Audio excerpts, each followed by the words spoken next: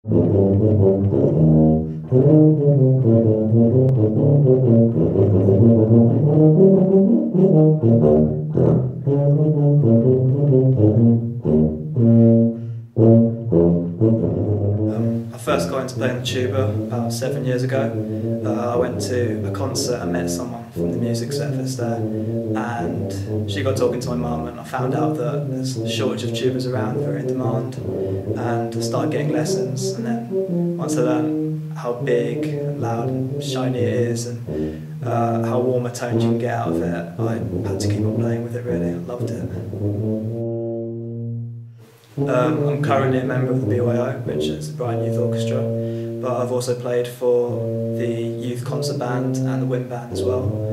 Um, with uh, the Brighton Youth Orchestra, I've been on tour to uh, around Europe really. We went to Switzerland last year, but also the year I joined, we played with finale at the Junior Proms in the Albert Hall, Royal Hall. That was great. Uh, and also through the music service, I played at Glyndebourne Opera House a couple of times, and that's those have been amazing experiences. Thank.